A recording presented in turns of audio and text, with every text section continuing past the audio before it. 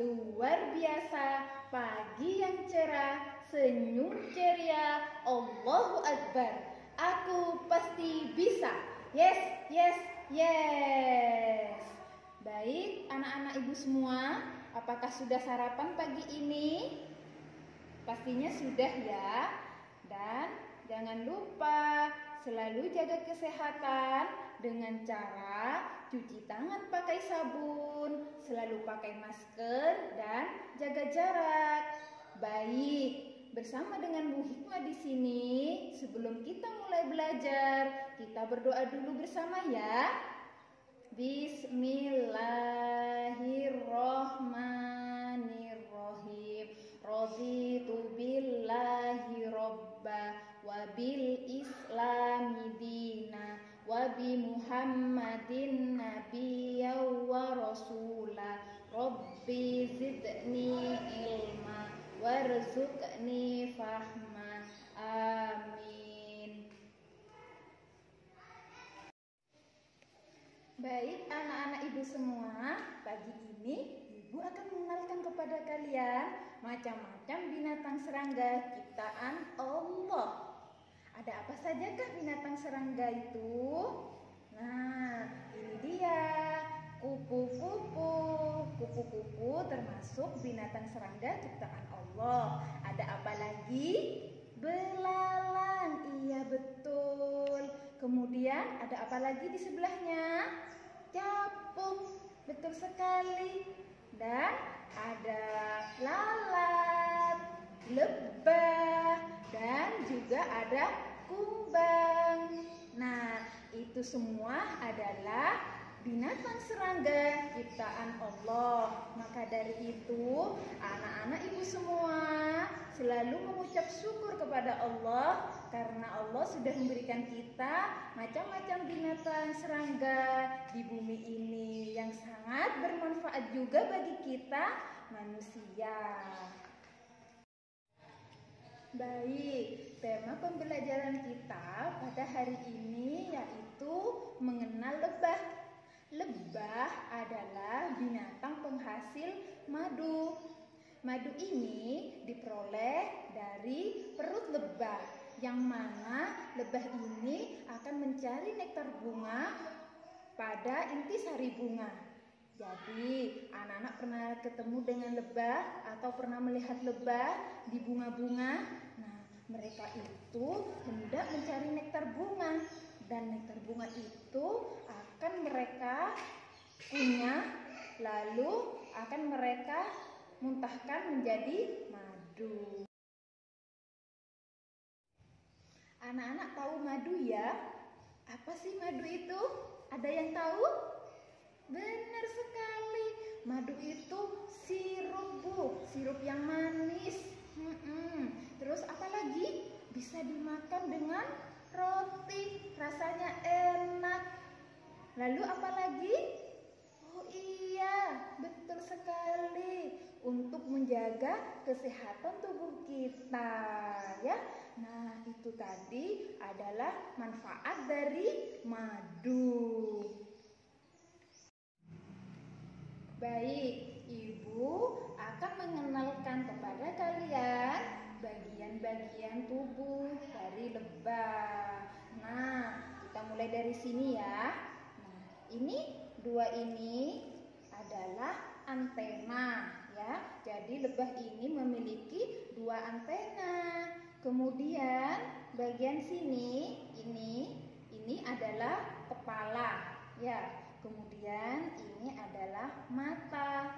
Nah, ini adalah lebah. Kemudian ada apa lagi? Nah, bagian sini ini adalah badan lebah ya. Badannya lebah ini. Kemudian di bagian ekornya ini adalah perut. Nah, perut di sinilah yang menghasilkan madu. Kemudian ini kaki ya ini kakinya lebah ini ya. nah ada apa lagi oh iya ada sayap ya lebah punya sepasang sayap nah ini, ini semua adalah bagian-bagian dari tubuh lebah. Baik, bagaimana kalau sekarang kita bernyanyi lebah dulu yuk bersama? Ibu contohkan dulu ya, nanti kalian tirukan. Baik, satu, dua, tiga. Aku lebah kecil dan mungil. Ini antenaku dan ini sayapku. Bila aku terbang, aku berbunyi. Lindungi aku, jangan kau ganggu. Lindungi aku, jangan kau ganggu. Baik, kita Ulangi satu kali lagi ya. Aku lebah kecil dan mungil, ini antenaku dan ini sayapku. Bila aku terbang, aku berbunyi. Lindungi aku, jangan kau ganggu. Lindungi aku, jangan kau ganggu.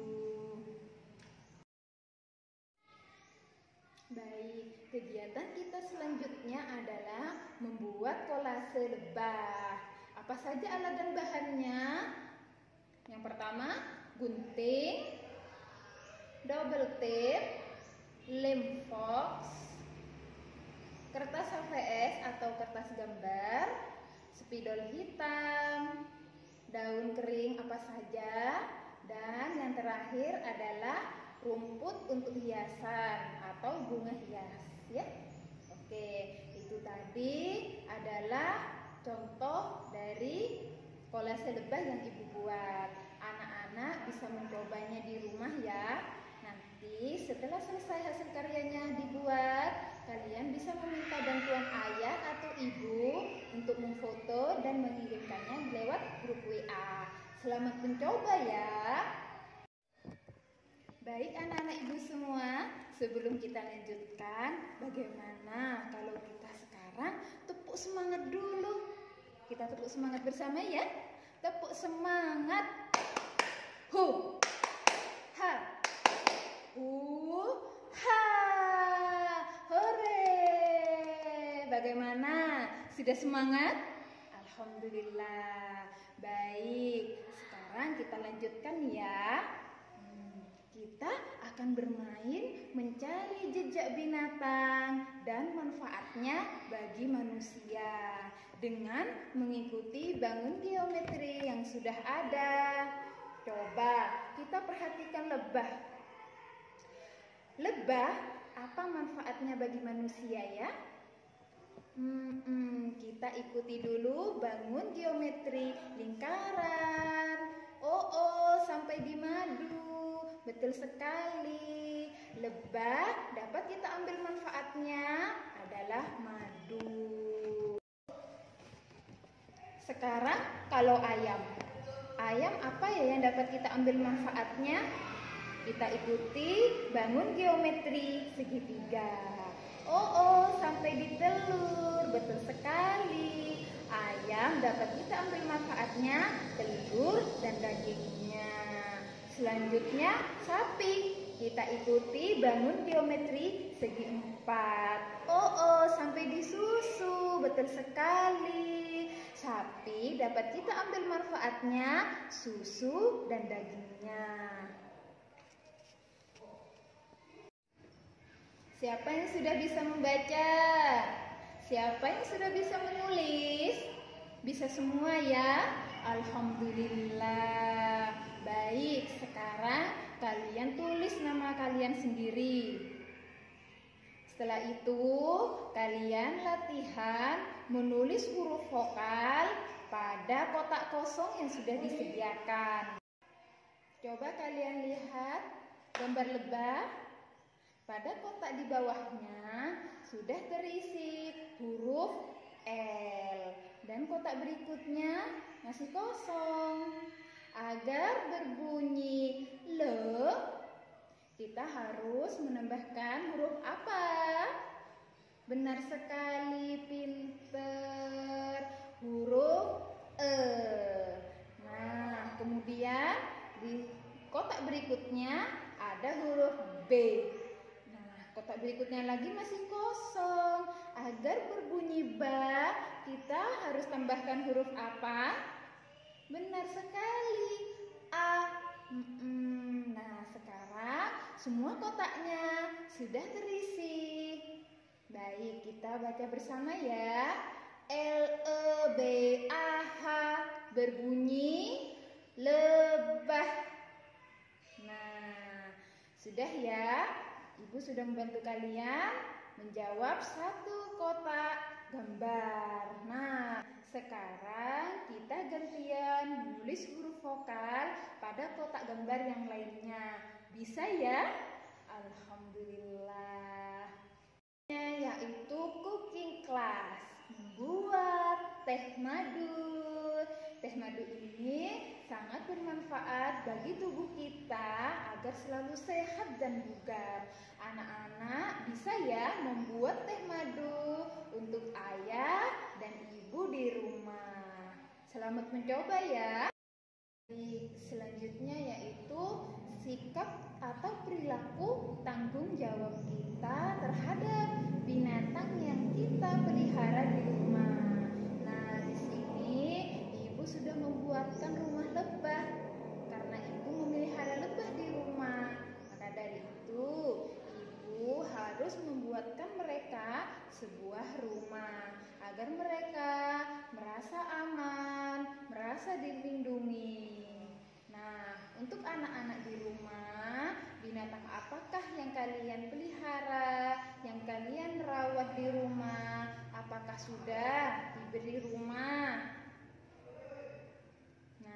Kalau sudah, kalian bisa menceritakannya kepada teman-teman kalian di rumah, pada ibu guru, dan juga kepada orang tua. Baik anak-anak ibu semua, cukup sampai di sini dulu kegiatan pembelajaran kita pada hari ini. Semoga kita semua bisa mencontoh lebah agar kita bisa menjadi manusia yang lebih baik dan juga bermanfaat bagi sesama. Anak-anak ibu semua, sebelum ibu tutup, kita baca doa dulu bersama ya. Bismillahirrohmanirrohim Rabbi